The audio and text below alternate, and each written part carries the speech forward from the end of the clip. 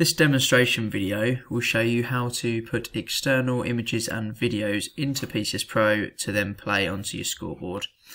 So here in slide control you've got options for images and videos. So currently I've got no images or videos in the correct folder um, to then appear into PCS Pro to then play onto the scoreboard.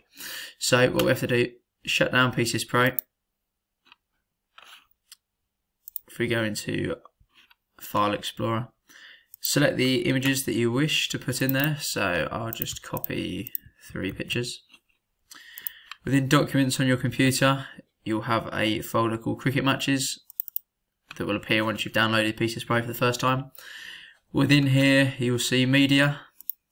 Open up Media and paste those uh, files in there. So you can put images and videos in that same media folder. Okay, shut that down. You then need to reopen PCS Pro. So please note if you leave PCS Pro open, um, even though you copy those into the media folder, they won't appear. PCS Pro needs a restart um, for it to all filter through and for those to appear. So hopefully, if we scroll down slide control to image, there you'll see our three images that I've just pasted into that folder.